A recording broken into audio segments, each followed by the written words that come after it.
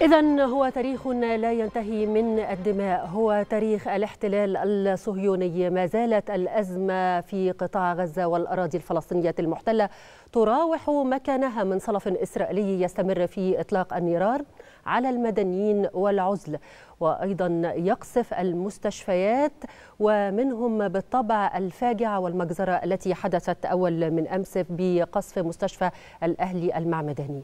جهود مصرية متواصلة لحقن دماء الفلسطينيين واللجوء إلى التهدئة وحق الشعب الفلسطيني في إقامة دولته المستقلة على حدود الرابع من يونيو عام 1967 أرحب بكم مشاهدينا الكرام في هذه التغطية المستمرة معكم على شاشة التلفزيون المصري والتي نواصل فيها تسليط الضوء على العدوان الإسرائيلي المكثف على قطاع غزة وأيضا على أبناء القطاع وأبناء الشعب الفلسطيني. تصعيد غير مسبوق تقوم به قوات الاحتلال الإسرائيلي لما يقرب من الأسبوعين. عملية طوفان الأقصى تتواصل وجهود مصرية لحقن دماء الفلسطينيين بالتوازي مع استمرار العدوان الإسرائيلي الغاشم على القطاع. كذلك تتواصل عمليات قصف المنازل والأبراج والبنايات السكنية وموقعة بهذه الأفعال الشرسة والمجازر التي تقوم بها إسرائيل أو قوات الاحتلال الإسرائيلي المئات من الشهداء والجرحى في صفوف المدنيين الفلسطينيين.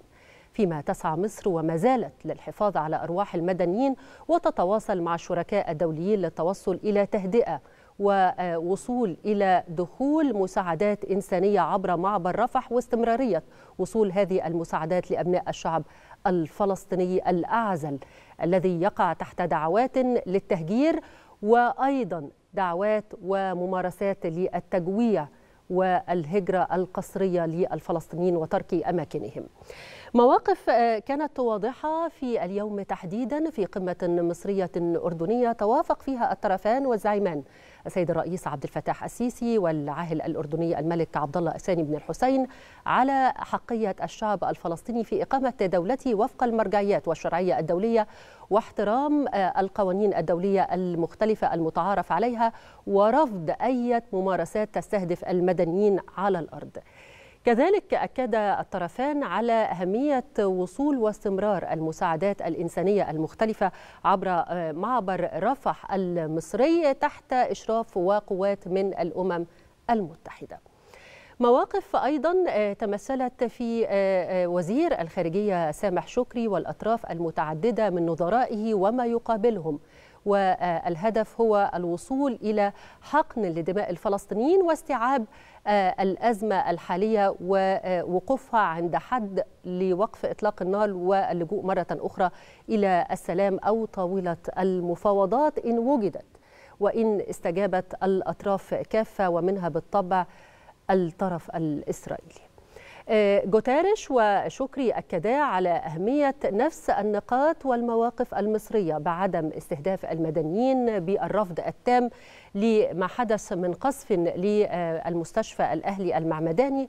وأيضا أهمية وصول المساعدات الإنسانية المختلفة تحت إشراف من الأمم المتحدة عبر معبر رفح المصري.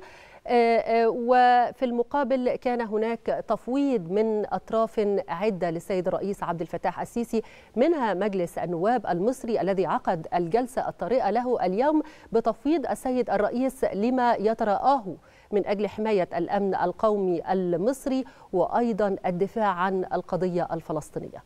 أطراف تتشابك وردود أفعال دولية وعربية والمواقف تختلف ما بين الطرف والآخر وما بين الإرادة التي تكون واضحة في تصرفات على الأرض من أجل حقن دماء الفلسطينيين والوصول إلى سلام عادل وشامل وما بين آراء مجرد بأنها تلقي بتصريحات أو إدانات لم تكن صادقة في وقف الاحتلال الإسرائيلي عما يقوم به على الأرض.